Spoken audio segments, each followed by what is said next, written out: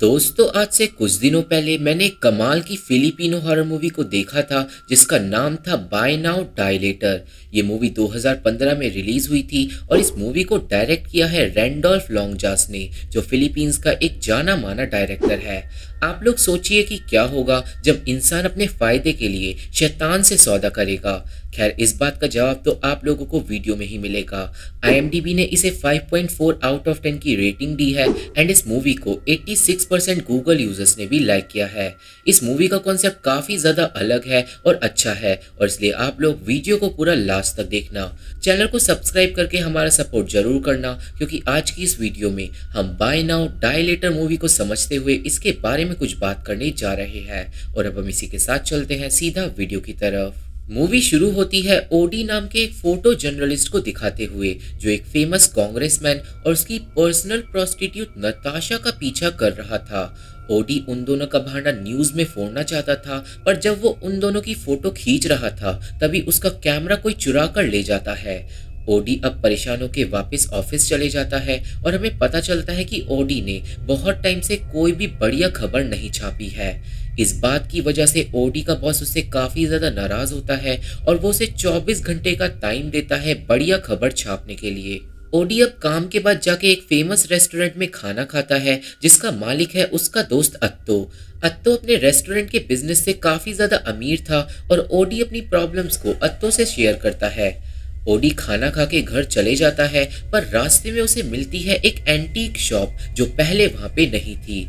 Shop को देखने के बाद ओडी उसके अंदर चले जाता है, जहाँ पे उसे बहुत सारे एंटीक आइटम्स मिलते हैं। ओडी वहाँ पे एक फ़ेमस पेंटिंग को देखने लगता है और तभी उसके पास आता है सैंती, जो शॉप का ओनर है। ओडी सैंती से पूछता है कि ये दुकान क्या नई खुली है, जिसके जवाब में सैंती बोलता है कि ये दुकान सिर्फ़ उसी को दिखती है जिसको इसकी ज़रूरत होती है। ओडी को अब दुकान के अंदर एक बहुत ही यूनिक कैमरा दिखाई देता है, जिससे वो खुश हो जाता है। सैंती बोलता है कि ये कैमरा बहुत ही ज़्यादा लकी है, जो अपने मालिक को अमीर बना देता है। ओडी उस कैमरे को खरीदने का फैसला करता है, पर सैंती उससे पैसे नहीं लेता। पैसों के बदले सैंती ओदी से एक कॉन्ट्रैक्ट साइन करवाता है, जिसमें तीन रूल लिखे थे। पहला था कि ओडी दुकान के बारे में किसी और को नहीं बताएगा। दूसरा था कि ओडी कैमरे को कभी भी तोड़ेगा नहीं। और तीसरा था कि ओडी कैमरे को तभी यूज़ करेगा जब कैमरा उसे रास्ता दिखाएगा। ओडी को ज़्यादा कुछ तो ये समझ नहीं आता, पर वो कैमरे के लिए कॉन्ट्रैक्ट को साइन कर देता है। और जब वो कॉन्ट्रैक्ट को साइन करता है तो उसके हाथ पे एक कट लग जाता है। और अब आप लोग समझ ही गए होंगे कि ओडी ने असल में शैतान से सौदा कर लिया है। ओडी अब शॉप से बाहर निकलता है और उसे कैमरे में एक फ़ोटो दिखाई देती है, जो होती है कांग्रेसमैन की गाड़ी की। गली में ओडी अचानक ही उसी गाड़ी के सामने आ जाता है, जिसकी हेडलाइट्स अपने आप जल जाती है। ओडी गाड़ी के पास जाता है और तभी गाड़ी से निकलती है नताशा की लाश, जिसे देखकर ओडी डर जाता है, पर वो कैमरे से नताशा की फ़ोटो ले लेता है। ओडी इसके बाद ऑफ़िस जाता है और वो नताशा के बारे में एक आर्टिकल अपलोड कर देता है, जिसको कुछ ही टाइम में बहुत सारे व्यूज़ मिल जाते हैं। उस ब्लॉग से ओडी रातों रात फ़ेमस हो जाता है और उसका बॉस बहुत ज़्यादा खुश हो जाता है। अपनी खुशी को ओडी अत्तो को भी बताने जाता है और जब वो उसके रेस्टोरेंट से बाहर निकल रहा था तो उसे दिखाई देता है कांग्रेसमैन और उसी टाइम पे ओडी के कैमरे में कांग्रेसमैन के कमरे की पिक्चर आ जाती है। ओडी अब चुपके से कांग्रेसमैन के कमरे में चले जाता है, जहाँ पे उसे एक शेडो अपने आसपास दिखाई देती है। वो थोड़ा कमरे में इधर उधर घूमता है, जिसके बाद उसे दिखाई देती है कांग्रेसमैन की लाश, जिसे बड़ी ही बेरहमी से बाथरूम में मार दिया गया था।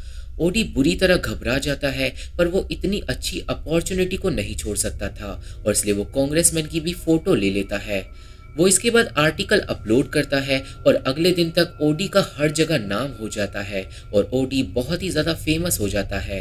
पर अब ओडी को इस बात का डर लग रहा था कि कहीं उसका कैमरा ही लोगों की मौत का कारण तो नहीं है। अब उस रात को ओडी को एक बुरा सपना आता है जिसमें लोगों की भयानक आत्माएँ उस पर अटैक करने लगती हैं और जब वो जागता है तो अचानक ही उसके कैमरे में एक प्रोडक्शन कंपनी की गराज की फ़ोटो आ जाती है। ओडी समझ जाता है कि कोई फिर से मरने वाला है, पर इस बार वो विक्टम को बचाने के लिए सोचता है। ओडी तुरंत ही गराज में पहुँचता है, जहाँ पे उसे कोई भी नहीं मिलता, और अचानक ही क्लोई नाम की एक लड़की ओडी पे हमला कर देती है। यहाँ पे ओडी को ऐसा लगता है कि क्लोई ने उस पर हमला किया, पर जब हम लोग चीज़ों को क्लोई की नज़रों से देखते हैं तो हमें पता चलता है कि असल में ओडी ने क्लोई पे हमला किया था। क्लोई अब ओडी से दूर भागती है, पर ओडी उसे शांत होने के लिए बोलता है।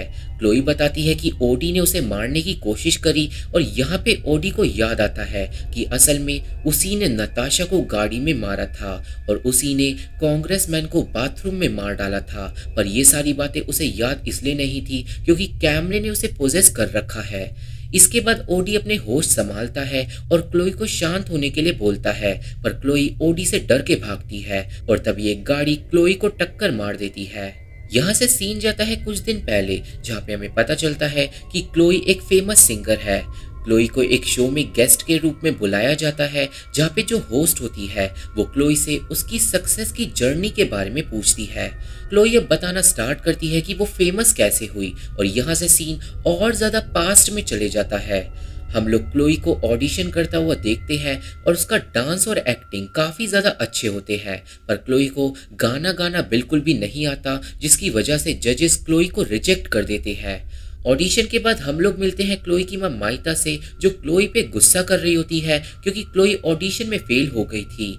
माइता अब क्लोई को सैंती की दुकान में ले जाती है, क्योंकि किसी ने माइता को बताया था कि सैंती क्लोई की मदद कर सकता है। दुकान के अंदर उन दोनों को सैंती नहीं मिलता, और बातों से हमें पता चलता है कि माइता अपनी जवानी में काफ़ी ज़्यादा फ़ेमस थी, और यही कारण है कि वो अपनी बेटी को भी फ़ेमस करना चाहती है। थोड़ी देर में उन दोनों के पास सैंती आता है और माइता अपनी बेटी की प्रॉब्लम सैंती को बताती है। सैंती इसके बाद क्लोई से एक कॉन्ट्रैक्ट साइन करा के एक फ़ोन उसे देता है, जो उसे फ़ेमस बना देगा और यहाँ से सीन कट होके क्लोई के रूम में जाता है।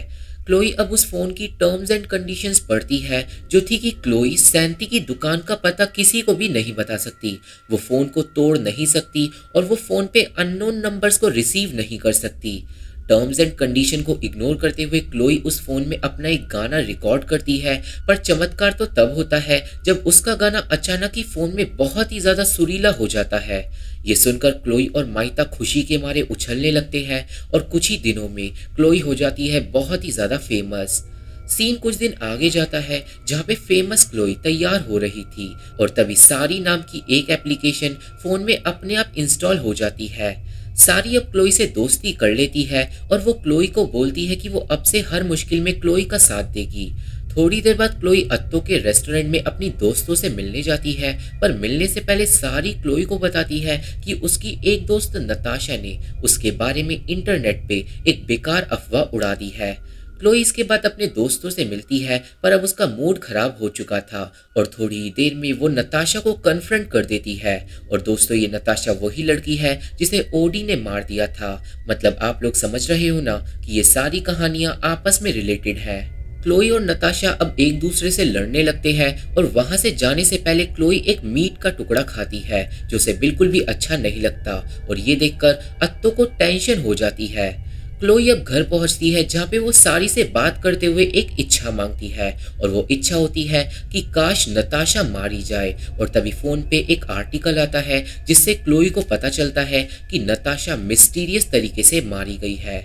ये पता चलने के बाद क्लोई डर जाती है, और वो फ़ोन को फेंक देती है। सीन वापस टीवी शो पे जाता है, जहाँ पे क्लोई आगे की कहानी नहीं बताती और शो की होस्ट कुछ देर के लिए वहाँ से चली जाती है। माइता क्लोई को संभालने के लिए आती है, पर तभी क्लोई को सुनाई देती है सारी की आवाज़ और सारी क्लोई को धमकी देती है कि वो उसकी माँ को मार देगी।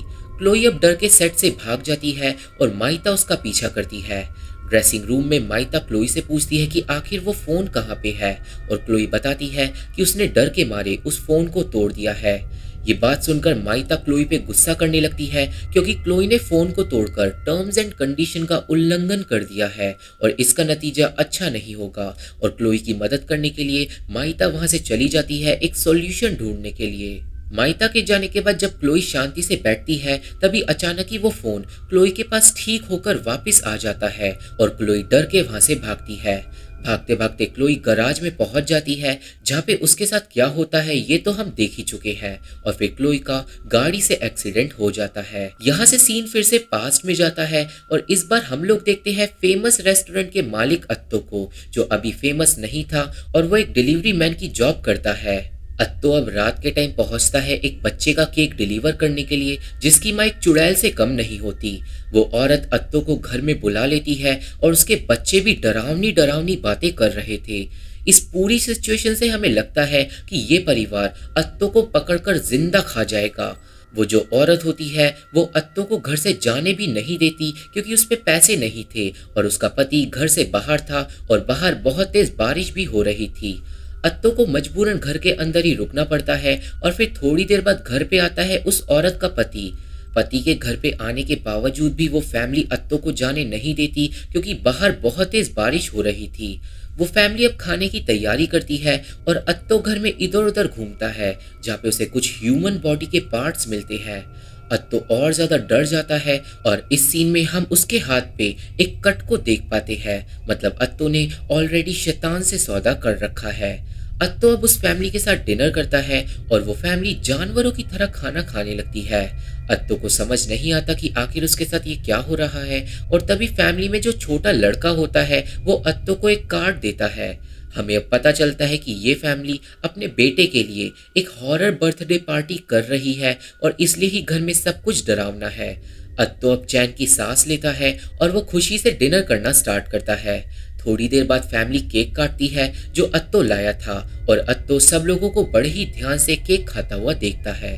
केक खाने के बाद ही अचानक ही फैमिली के लोगों के मुँह से झाग निकलने लगता है और वो पूरी फैमिली देखते ही देखते मारी जाती है।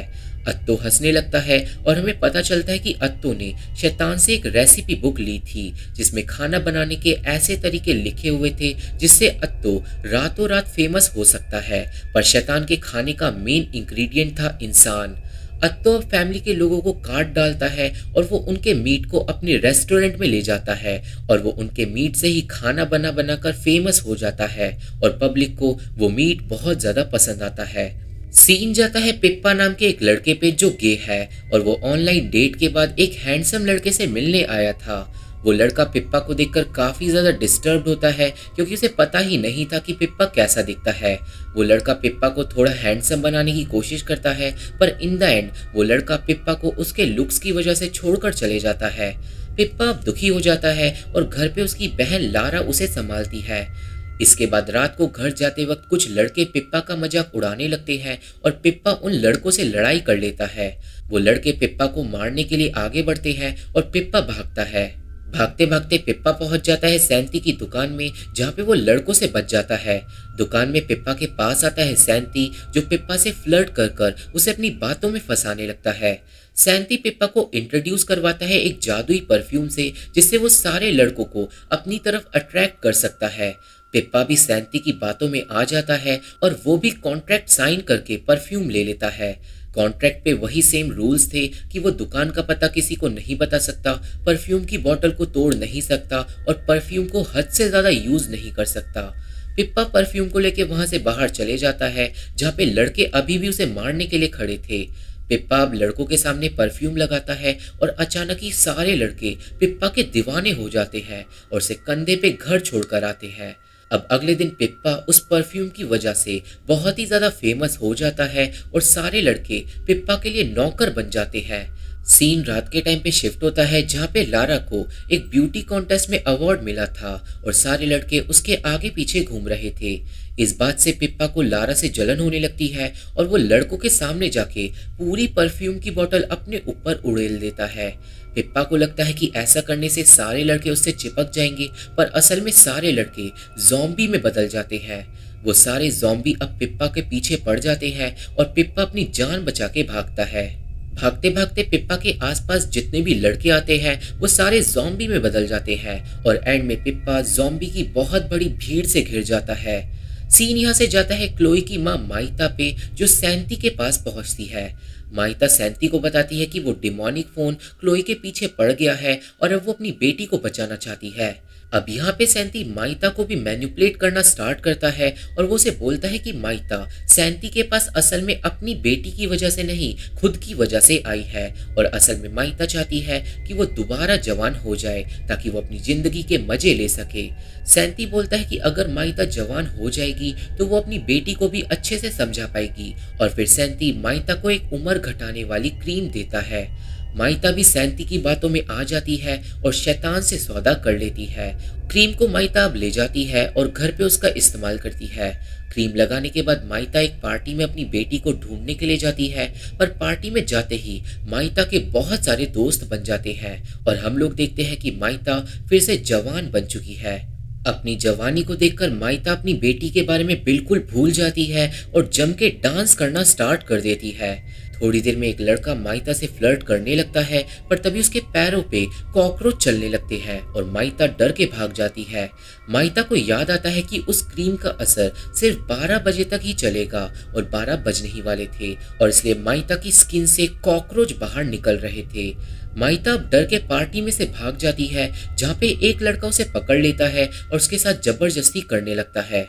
यहाँ से अब सीन वापस जाता है क्लोई पे, जो गाड़ी से टक्कर लगने के बाद बेहोश हो गई थी और ओडी अब उसे संभालता है। हमें पता चलता है कि क्लोई को टक्कर अत्तो ने मारी थी और अब अत्तो एक गन लेके ओडी की तरफ़ बढ़ता है। इस सीन में हमें पता चलता है कि अत्तो क्लोई को मार के उसके मीट को बेचना चाहता है, पर जब ये बात ओडी को पता चलती है तो वो अत्तो पे हमला कर देता है।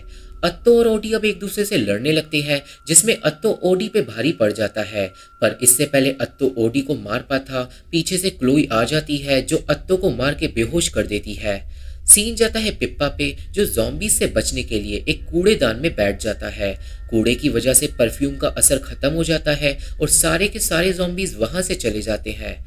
जॉम्बी के जाने के बाद पिप्पा माइता को देखता है, जिसे वो लड़का छेड़ रहा था, और पिप्पा तुरंत ही जाके माइता को बचा लेता है। अब पिप्पा को तभी फ़ोन पे एक नोटिफिकेशन आता है, और उसे पता चलता है कि फ़ेमस सिंगर क्लोई को हॉस्पिटल में एडमिट कराया गया है। ये बात जैसे ही माइता को पता चलती है, वो तुरंत ही हॉस्पिटल की तरफ़ भागती है, पर पिप्पा उसे रोक लेता है। माइता पिप्पा को बताती है कि वो क्लोई की माँ है और इस सीन में उन दोनों को ही पता चलता है कि वो दोनों ही सैंती के चंगुल में फंसे हुए हैं और इसलिए वो दोनों ही हॉस्पिटल की तरफ़ भागते हैं। अब सीन हॉस्पिटल में जाता है जहाँ पे क्लोई को होश आता है और ओडी को पता चलता है कि क्लोई भी सैंती के टोटके में फंसी हुई है। थोड़ी देर में ओदी क्लोई, पिप्पा और माइता एक दूसरे के आमने सामने आ जाते हैं और उन सबकी प्रॉब्लम सैंती से जुड़ी हुई थी। सारी बातें अब सब लोगों के सामने आ जाती है और ओडीए कंक्लूजन निकालता है और वो ये होता है कि कॉन्ट्रैक्ट के हिसाब से वो सब लोग अपनी अपनी चीज़ों को नष्ट नहीं कर सकते। पर अगर वो लोग एक दूसरे से अपनी अपनी चीज़ें एक्सचेंज कर ले तो वो रूल उन पर लागू नहीं होगा। कहने का मतलब ओडी अपना कैमरा खुद से नहीं तोड़ सकता, पर अगर वो क्लोई को अपना कैमरा दे दे और क्लोई उसका कैमरा तोड़ दे तो वो कैमरा टूट जाएगा, और इसलिए वो चारों लोग यहीं पे अपनी चीज़ों को आपस में बदल लेते हैं। अब वो सब लोग जाते हैं सैंती की दुकान में, जहाँ पे वो सब लोग मिलते हैं अत्तो से, जो अभी भी उन लोगों का साथ नहीं देता, और वो सैंती के सौदे को खराब नहीं करना चाहता था। अब उन पाँचों लोगों के पास आता है सैंती और अब वो बदल जाता है सेटन में, और अब सब लोग समझ जाते हैं कि उन्होंने शैतान से सौदा किया है। अब शैतान सभी लोगों को अपने वश में कर लेता है, और सब लोगों को एक बुरे सपने में फंसा देता है, और अगले ही सीन में हम अत्तो को उसके बुरे सपने के अंदर देख पाते हैं, जहाँ पे शैतान ने अत्तो को एक पोल पे बाँध रखा था। शैतान अब बताता है कि तुम लोगों ने जो सामान मेरी दुकान से खरीदा है, उस सब के बदले तुम लोगों को अपनी अपनी आत्माएँ देनी होगी।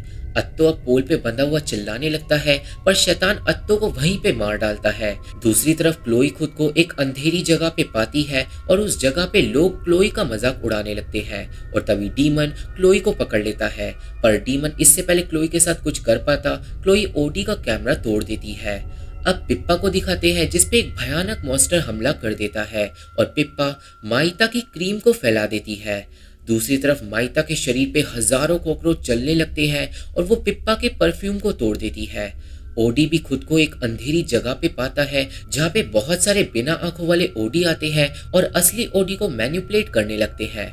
इसके बाद ओडी के पास डीमन आता है और तभी ओडी क्लोई का फ़ोन तोड़ देता है। फ़ोन के अंदर से कांच बाहर निकलता है, जो ओडी की आँखों में घुस जाता है और ओडी अंधा हो जाता है। अब रियल वर्ल्ड में सबको होश आता है, जहाँ पे ओडी सच में अंधा हो गया था। क्लोई बहरी हो गई थी और पिप्पा की सूंघने की शक्ति चली गई थी। अब क्योंकि सारी चीज़ें टूट चुकी थी तो डीमन अब लोगों को कंट्रोल नहीं कर सकता। और अब वो सारे दोस्त मिलकर डीमन की दुकान में उतल पुतल मचा देते हैं। सारे सामान को वो इधर उधर तोड़ने लगते हैं, जिससे डीमन को बहुत ज़्यादा गुस्सा आता है, पर वो इतने सारे लोगों को एक साथ नहीं रोक पाता। अब माइता डीमन की दुकान में आग लगा देती है और वो सारे के सारे साइंड कॉन्ट्रैक्ट्स को जला देती है, जिससे शैतान का सौदा खत्म हो जाता है। माइता को छोड़कर सब लोग दुकान से भाग जाते हैं, पर माइता आग में फंस जाती है। डीमन भी माइता को गुस्से में पकड़ लेता है और माइता के साथ ही साथ पूरी दुकान जलकर खाक हो जाती है और अपनी माँ को मरता हुआ देखकर क्लोई रोने लगती है। यहाँ से सीन कुछ दिन आगे जाता है, जहाँ पे क्लोई अभी भी फ़ेमस है, पर अब वो बहरी हो चुकी है। पेप्पा अब क्लोई का साइन लैंग्वेज वाला ट्रांसलेटर बन चुका है और ओडी अभी भी अंधा है। वो तीनों अब काफ़ी अच्छे दोस्त बन चुके थे और साथ में एक दूसरे का सपोर्ट कर रहे थे। और मूवी के लास्ट सीन में हम लोग देखते हैं डीमन को, जो गली में बैठा हुआ था और लोगों को अपना टूटा फूटा सामान बेच रहा था। मतलब डीमन अभी तक ज़िंदा है और मूवी पे खत्म हो जाती है। तो ये थी explanation Buy Now Die Later movie की, और मुझे आशा है कि आप सभी को ये मूवी समझ आ गई होगी और मेरी वीडियो पसंद आई होगी। आप लोगों को ये मूवी कैसी लगी, मुझे कमेंट बॉक्स में ज़रूर बताना। मेरे फेसबुक पेज का लिंक और बाकी सोशल मीडिया का लिंक डिस्क्रिप्शन बॉक्स में मौजूद है, आप लोग सब कुछ फॉलो कर लेना। वीडियो पसंद आया हो तो वीडियो को लाइक करके और चैनल को सब्सक्राइब करके हमारा सपोर्ट ज़रूर करना, क्योंकि इससे हमें काफ़ी ज़्यादा हेल्प मिलती है। और अब मैं आप लोगों से मिलता हूँ अपनी अगली वीडियो में। तब तक के लिए थैंक यू बाय